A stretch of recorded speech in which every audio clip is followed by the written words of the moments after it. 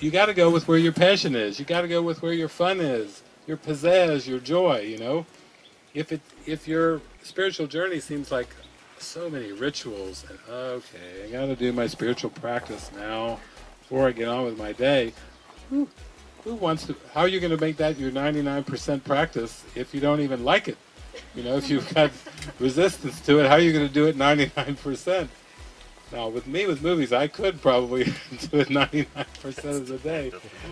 Yeah, I just because I, it's the spirit like using it in some higher way. So, I'm always advocating the fun way to God, and, and I think that that it can be fun.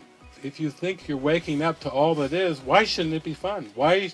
I mean, I had to wash away some of the old ego ideas of fun. Of course, I had those too and we play them out and and sometimes the things that the ego sponsors as fun aren't fun anymore after a while. You have fun for a while and then all of a sudden you reach a boredom with it or a dullness with it. It's not fun anymore. But this stuff is in, this is intoxicating in a good way. It's it takes you up into the ecstasy but it's it's through your willingness to to to go with it you know to dive into it. So I, I actually, somebody asked me, they said, how many weeks of the year do you vacation?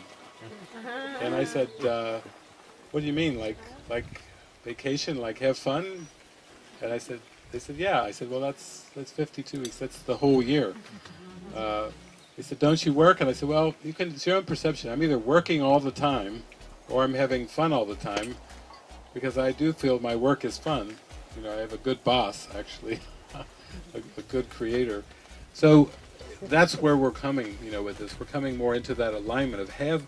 Why can't we have fun with spirituality? You know, I just, I really think that that that is a question we really have to look at. If we're not having fun with our spirituality, then then there's something to question. Maybe we've gone too serious with something. There's some kind of a tweak we need if our spirituality isn't fun. Of course there'll be pockets of resistance, but the fun can overcome the resistance. Mm-hmm.